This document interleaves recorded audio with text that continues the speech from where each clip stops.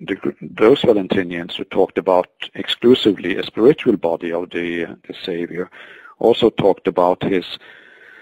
uh, a kind of material body that they spoke spoke seriously about his uh, suffering, his incarnation into a real human body, and they conceived of the process of salvation as some kind of um, exchange. So the the, um, the Savior is coming from above with all the spiritual, all kinds of, with spiritual, spiritual as part of his body, and the spirituals on earth are living in a material body, and he sort of assumes their material existence and he swaps it for the spiritual body that he uh, brings down. And uh, because of this um, this uh, exchange, uh, the uh, the uh, human spirituals are, are saved. Now, in the um,